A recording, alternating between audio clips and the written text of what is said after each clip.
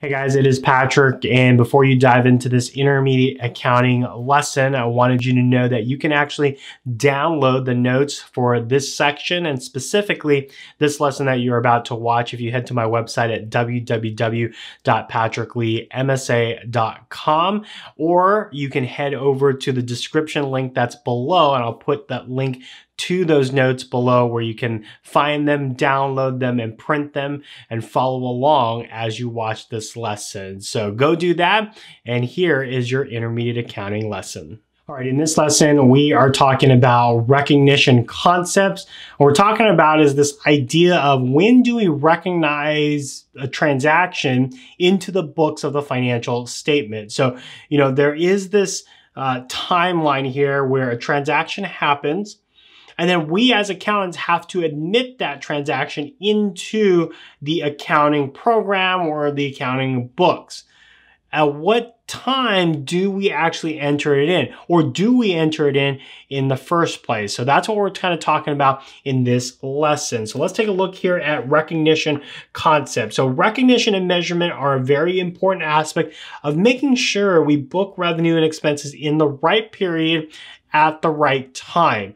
And the reason why that that is important is because there may be transactions that would seem to be in last year's books that really should be based in this year's books.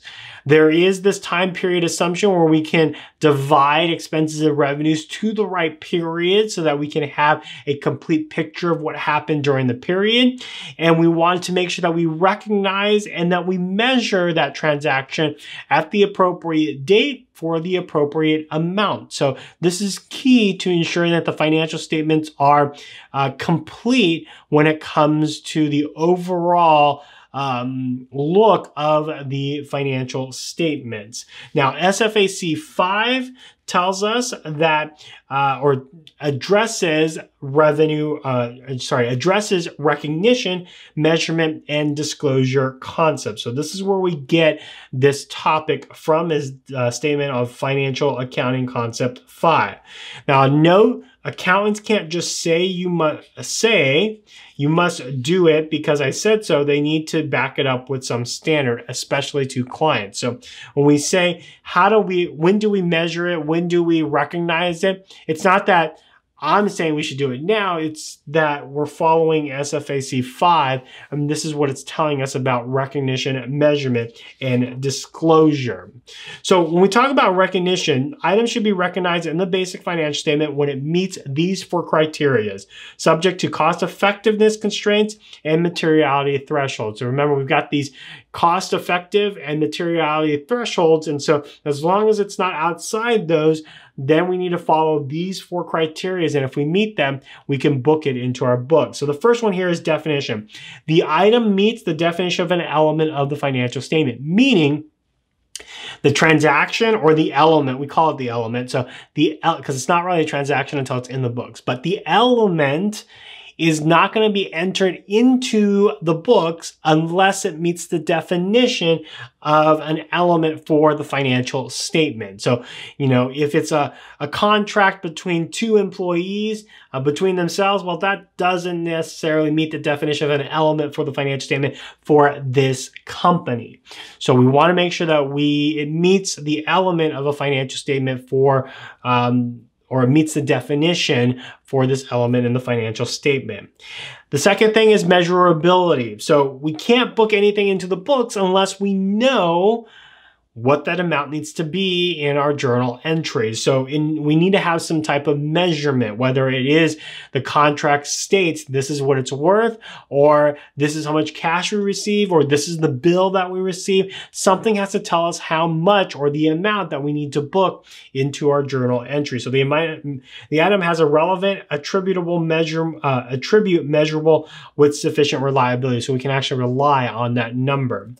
Third, uh, third one here is relevance. The information about it is capable of making a difference in the user's decision. Now, this is kind of weird because this is basically saying if it doesn't make it, if it doesn't meet the definition of making a difference to the user, then you shouldn't have to report it. But us as accountants, we report everything. Where this really comes into play is when we actually report the financial statement. So for instance, if um, I don't know, supplies was 500 bucks. Um, and the balance sheet uh, totals are $20 million.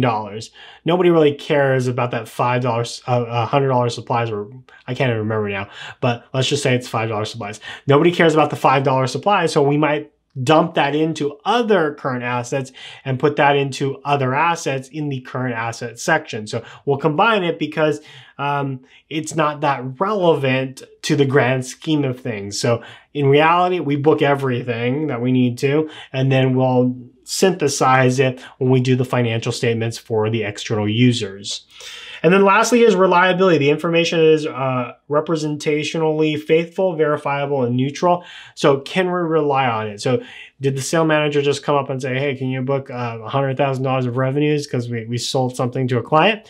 Or does that salesperson or that manager actually have a copy of the contract signed and the delivery of those or the shipment of those items to the customers. So what do we have? What type of evidence do we have and can we rely on it? Because we know why the salesperson is coming and telling us to inflate the revenues before the end of the year. So it makes them look better. But can we rely on that? That's what we want. So if they meet, if we meet four, all four of these criterias, then we can recognize it into our books.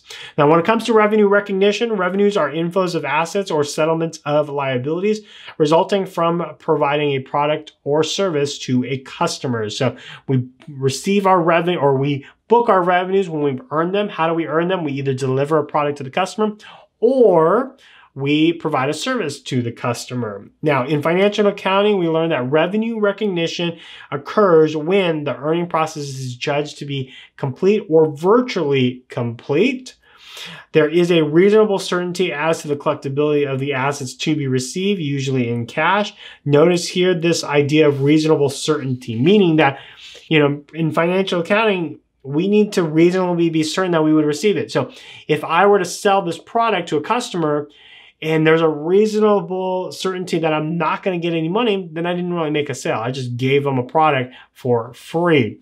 If, however, I gave it to them and there is a reasonable certainty that they will pay me in a week, then I can book that as a sale. So understanding this reasonable certainty. Now, a revisement to all of this when it comes to SFAC 5, so due to uh, the changes in SFC 5 with the ASC 2014-09, companies, companies recognize revenue when goods or services are transferred to the customer for the amount the company expects to be entitled to receive in exchange for the goods or services. So again, referring back to we expect to receive this amount and we're entitled to this amount. That's how much we're going to book into the books. Now, along with revenues, we've got expenses. So we take a look at the expense recognition. Expenses are outflows or uh, outflows or other using up of assets or uh, incurrences of liabilities for providing service goods or services. In financial accounting, you learn to book expenses as either product expense or period expense. Um, product expense are costs associated directly with a product that you intend to sell to a vendor or a end user.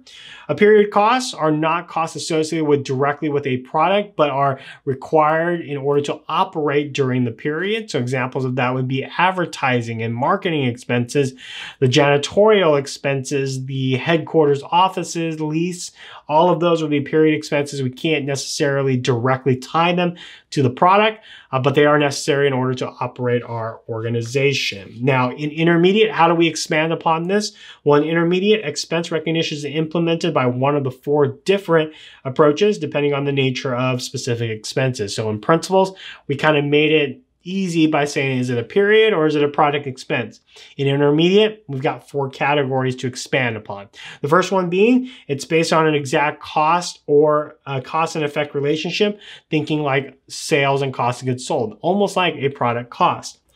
Uh, by associating an expense with the revenue recognized in a specific time period. So for instance, a salesperson expense, they get a commission that is based on the revenue being generated. So that we're tying to the revenue um, item. Uh, by a systematic and rational allocation to a specific time period. So depreciation, we're allocating the cost of the asset over its useful life. So that would be a systematic allocation of expenses.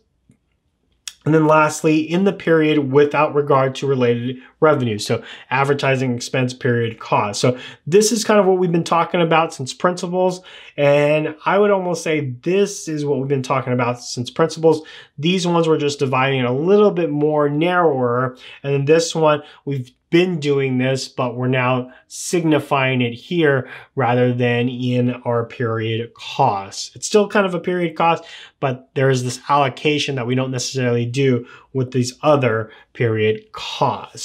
So that is a look at recognition concepts. The idea here is when do we recognize any type of element into the financial statement.